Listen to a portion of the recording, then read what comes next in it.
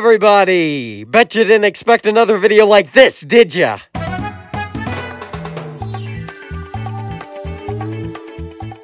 It seems pretty apparent at this point that there are a load of things that I consider to be annoying, cringe, or stupid, especially when it comes to the internet. It seems like just about every video I make nowadays is me ranting on some cringy advertisement or, or style of content on YouTube. It's began to get pretty stale, so today I thought I'd spice things up a little bit and broaden my level of annoyance. Without further ado, here are a couple of day-to-day -day nuisances that regularly piss me off.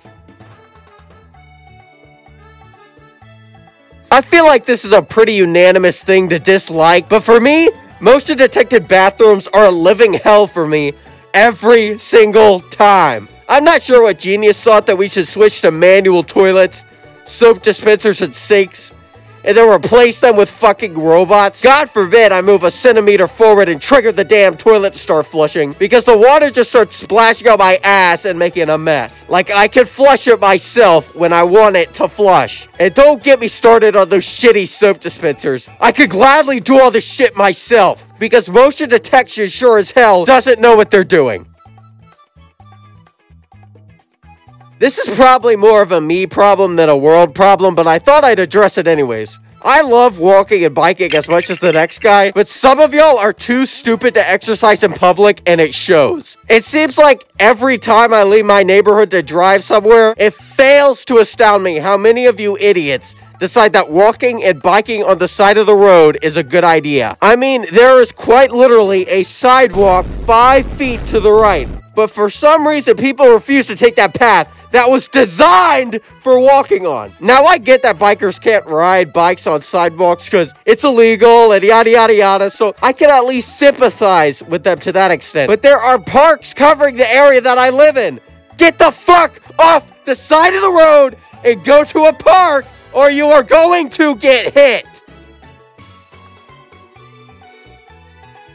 This one is guaranteed to be my most popular take ever. Fetuses are super annoying, but they are even more annoying when you are literally trapped in the same location as them. Whether it's at a public meeting ground or on public transportation, babies screaming their asses off make me want to jump off the top balcony of the Burj Khalifa. Like, why the hell do parents think that bringing their kids in public areas is a logical choice to make? There should be absolutely no reason for anyone under the age of three to be on a flight or on the bottom deck seating at a Braves game or in the middle of a public gathering. I mean, you get the point. If you choose to have kids, you gotta realize that other people around you are trying to enjoy themselves. So don't ruin it for the rest of us. We are sick of hearing your fetus ramble on about how much it wants milk. Sorry to all the country music fans out there. I know all three of you must be pretty upset to hear this, but I simply can't just turn a blind eye on this anymore. Country music is, in quotations, music for the redneck community. There are three basic topics of interest found in nearly every country music song. Trucks, cold beer, and hoochie coochies.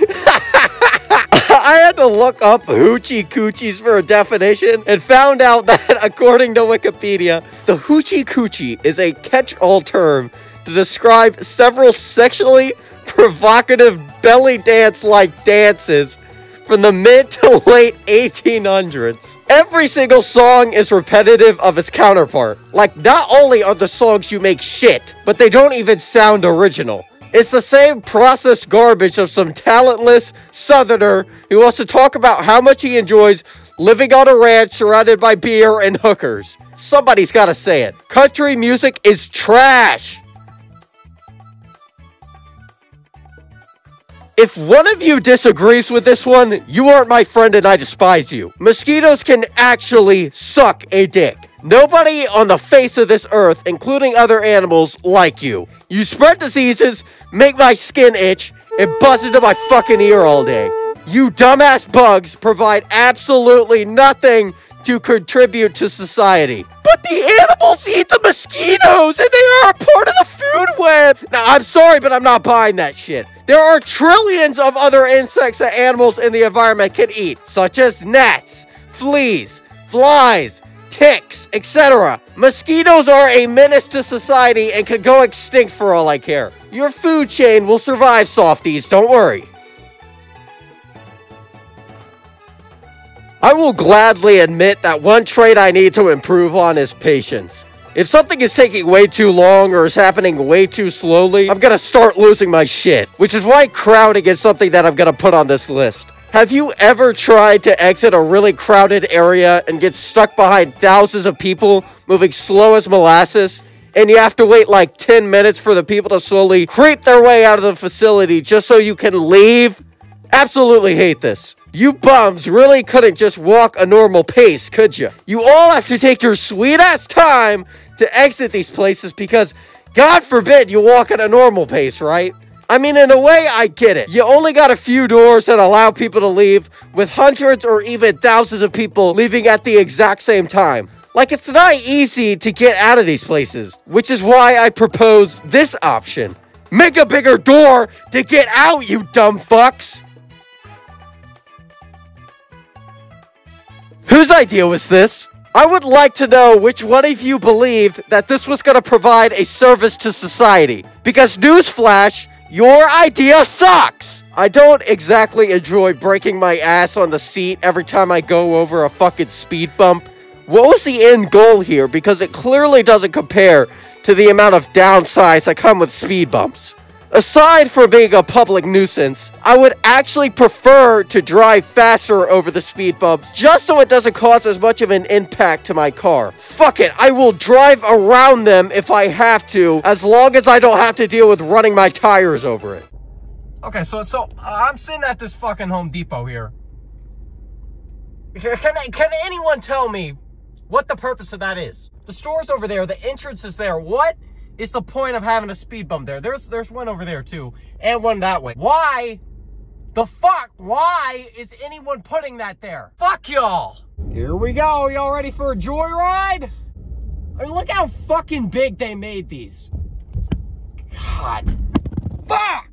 Also, what the hell are low riding vehicles supposed to do? Do they literally just scratch against the bumper every time somebody drives over them? I mean, there are thousands of different things that are much more useful and help protect people.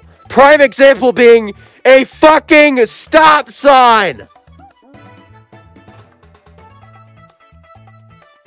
Sorry if this makes me sound like a spoiled brat, but it has always irked the fuck out of me when people get the rip-off food brands instead of the original ones. Like, sorry, dude. I deeply apologize for not enjoying your selection of cheese whales, cream betweens, and Mr. Potato Crisps. You all know that one type of person that would take the Whole Foods route instead of going to a Walmart because Whole Foods is a healthier alternative. Shut the fuck up, Barbara. When you shop to get a 2-liter bottle of Dr. Pepper, nobody on the planet wants you to go the Dr. Bob route.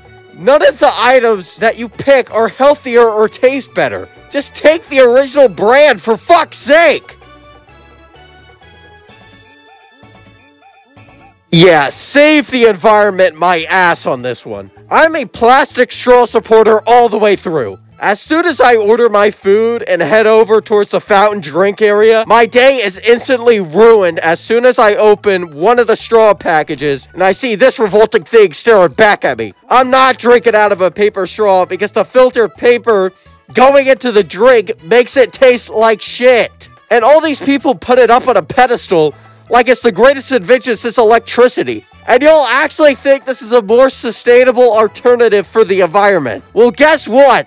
Ever heard of biodegradable straws? Sorry, but that paper shit isn't going into my mouth.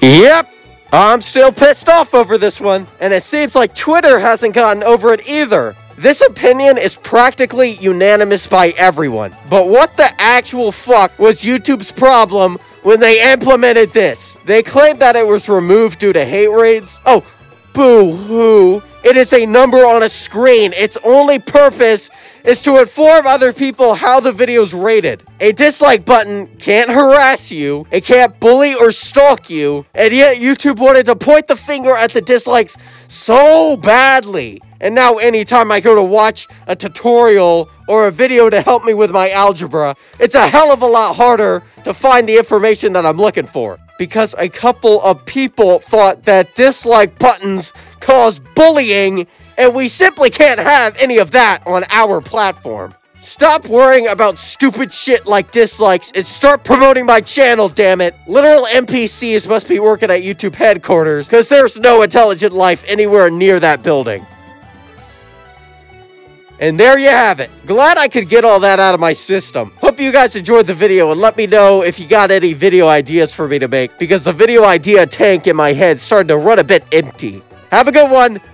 Peace out.